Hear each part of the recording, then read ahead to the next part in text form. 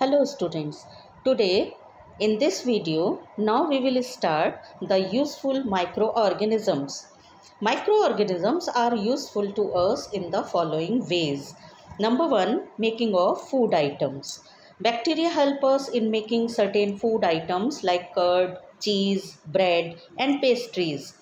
Lactobacillus bacteria help make curd from milk. Curd is formed when a protein called casein present in milk clumps together to form a solidified mass. Casein coagulation clump formation takes place only when the milk is acidic. आप लोगों ने देखा होगा कभी आपके घर में आपकी मदर दूध से दही बनाती होंगी एक्चुअली दूध जो है ये एक प्रोटीन है और इसके अंदर कार्बोहाइड्रेट है। कार्बोहाइड्रेट है लैक्टोज और जब हम इससे कर्ड बनाते हैं तो ये लैक्टोज लैक्टिक एसिड में चेंज हो जाता है। लेकिन मिल्क से कर्ड बनता कब है और कैसे बनता है? आप लोगों ने देखा होगा मिल्क को पहले हम हल्का सा गर्म करते हैं, उसके टेम्परेचर को हल्का सा रेज़ करते हैं और उसमें थोड़ा सा दही डालते हैं कर्ड डालते हैं। कर्ड हमने जामुन की तरह डाला है बहुत थोड़ा सा क्वांटिटी में। लेकिन इसके अंदर लैक्टिक एसिड प्रेजेंट है और क्या प्रेजेंट है? एक protein that is called casein इस कैसीन की एक स्पेशलिटी होती है कि ये मिल्क को कोएगुलेट uh, कर देती है मींस मिल्क के पार्टिकल्स को इकट्ठा कर देती है और उससे एक सेमी सॉलिड मटेरियल बन जाता है दैट इज़ कॉल्ड कर्ड और मिल्क का जो लैक्टोज है, जो कार्बोहाइड्रेट है, वो लैक्टिक एसिड में चेंज हो जाता है और पूरा मिल्क हमारा हल्का सा खट्टा हो जाता है क्योंकि जो मिल्क होता है, वो होता है मीठा स्वीट टेस्ट में क्योंकि ये कार्बोहाइड्रेट है। और जब हम कर्ड बनाते हैं तो ये हो जाता है एसिड ये खट्टा हो जाता है। तो एक तरह से हम देखें तो हम क्या देख रहे हैं कि यहाँ पर कार्बोहाइड्रेट से एसिड बन रहा है। मीन्स स्वीट से सार टेस्ट बन रहा है। तो बनता किसकी वजह से है? एक कैसीन नाम का प्रोटीन प्रेजेंट होता है, जिसकी वजह से ये मिल्क को कर्ड में चेंज कर देता है। A spoonful of curd contains the bacteria कौन सा बैक्टीरिया वर्क कर रहा है? लैक्टोबैसिलस अब ये जो कैसीन है, इसके अंदर बैक्टीरिया है। कौन सा? लैक्टोबैसिलस ये क्या करता है? That promote the formation of curd from milk आप यहाँ पर आपको एक इक्वेशन दिखाई दे रही है word equation milk plus curd gives milk becomes acidic और फिर फाइनली क्या होता है? Formation of curd from milk warm milk turns acidic when curd is added. Milk contains a sugar called lactose. Lactobacillus bacteria present in the curd help in converting the lactose sugar present in the milk to lactic acid by the process of fermentation. इस process को हम क्या कहते हैं fermentation. This creates the acidic medium needed for casein protein present in the milk to coagulate to form curd क्या हुआ? आप समझ गए? लैक्टोबैसिलस ने इस मिल्क को एसिडिक बना दिया और एसिडिक बनने के बाद कैसीन ने कोएगुलेट करना स्टार्ट कर दिया और जो लैक्टोज शुगर थी, वो लैक्टिक एसिड में चेंज हो गई by the process of fermentation next second food item Cheese and paneer are also made by the action of bacteria, lactobacillus and streptococcus on milk. हम पनीर भी बनाते हैं और चीज़ भी बनाते हैं मिल्क से यहाँ पर चीज़ जो बनाते हैं वो लैक्टोबैसिलस से बनाते हैं और पनीर बनाते हैं स्ट्रेप्टोकॉकस आपने देखा होगा हम दूध को फाड़ देते हैं दूध फट जाता है स्ट्रेप्टोकोकस बैक्टीरिया से और तब हमारा मिल्क चेंज हो जाता है पनीर में bacteria act upon dough meat and make it soft. Tough meat and make it soft. This process is called tenderisation of meat meat खाते हैं जो लोग नॉन वेज खाते हैं जो लोग, उनको पता होगा कि किस तरह से हम मीट को सॉफ्ट करके और उसको पकाते हैं तो इसके लिए भी हमें बैक्टीरिया की ज़रूरत पड़ती है। Yeast cells are use in baking industries for making breads pastries and cakes bread pastry और केक बनाने के लिए हमें ईस्ट सेल्स की ज़रूरत पड़ती है और ईस्ट भी बैक्टीरिया होता है।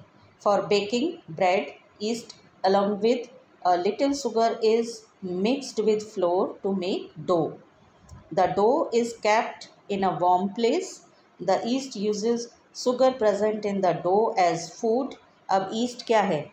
एक बैक्टीरिया है। अब हमने उसको डो में डाल दिया।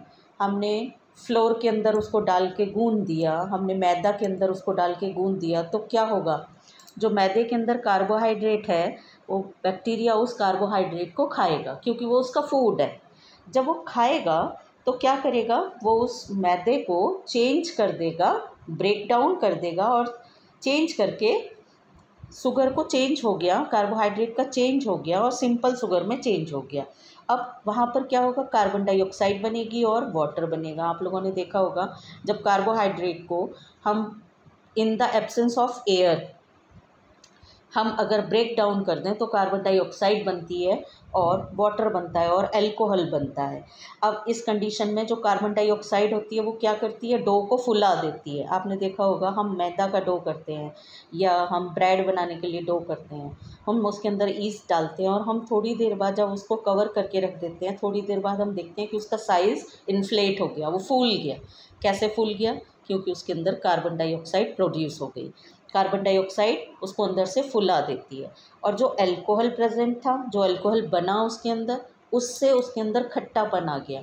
जब आप भटूरा खाते हैं, आप नान खाते हैं, आप ब्रेड खाते हैं, उसके अंदर हल्की सी खटास होती है। क्यों? क्योंकि उसके अंदर अल्कोहल से बनता है वो।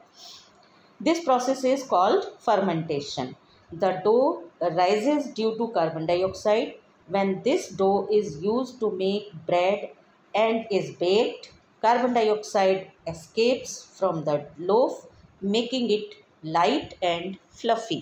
जब हम इससे कोई भी चीज़ बनाते हैं तो कार्बन डाइऑक्साइड तो बाहर निकल जाती है और इससे वो हल्का भी हो जाता है फ्लफ़ी फूला हुआ भी हो जाता है। Next is yeast yeast is also use to day to day household food items like idli dhokla and dosa हम जब इडली ढोकला और डोसा बनाते हैं, तब भी ईस्ट की हमें ज़रूरत पड़ती है और हम ईस्ट को यूज़ करते हैं। ईस्ट को और कहाँ यूज़ किया जाता है? For making idli and dosa the mixture of ground rice आपने देखा होगा। हम राइस और दाल का मिक्सचर बनाते हैं। First allowed to stand for a few hours उसको थोड़ी देर रखा रहने देते हैं। This mixture rises and becomes sour due to the growth of yeast cells अब ये खट्टा हो जाता है क्योंकि इसके अंदर ईस्ट सेल्स ग्रो हो जाती हैं और फूल जाता है क्योंकि कार्बन डाइऑक्साइड इसके अंदर भर जाती है। Next is some algae like chlorella and seaweeds are used as food they are a rich source of proteins and minerals ये भी प्रोटीन और मिनरल की बहुत रिच फ़ूड है, इसलिए इनको भी यूज़ किया जाता है फ़ूड की तरह पर, एल्गी को। नेक्स्ट इज़, अभी तो हम पढ़ रहे थे for the making of food items हम माइक्रो ऑर्गेनिजम्स का यूज़ पढ़ रहे थे। Second use is commercial use yeast is use for commercial production of alcohol beer wine and acetic acid for this purpose Yeast is grown on natural uh, sugars present in grains like barley, wheat, rice and fruit juices. हम क्या करते हैं? क्योंकि हमारे सारे fruits के अंदर बहुत सारा कार्बोहाइड्रेट होता है तो हम इन फ्रूट्स को ईस्ट के साथ ग्रो होने देते हैं। The process of conversion of sugar into alcohol by the action of microbes like yeast is called fermentation Louis Pasteur discovered the process of fermentation in 1857. Louis Pasteur ने इस process को बताया था और इस प्रोसेस को हम फर्मेंटेशन कहते हैं। Some bacteria are used in the production of tea coffee and tobacco tea coffee और टोबैको बनाने में भी बैक्टीरिया यूज़ किए जाते हैं। Some bacteria take part in the production of certain acids like lactic acid citric acid and acetic acid और vinegar तो बहुत सारी चीज़ें बनाने में, बहुत सारे फ़ूड आइटम्स बनाने में हम माइक्रो ऑर्गेनिज़म्स का यूज़ करते हैं। नेक्स्ट वीडियो में हम इसका मेडिसिनल यूज़ पढ़ेंगे और इसके आगे का लेसन पढ़ेंगे। तब तक के लिए बाय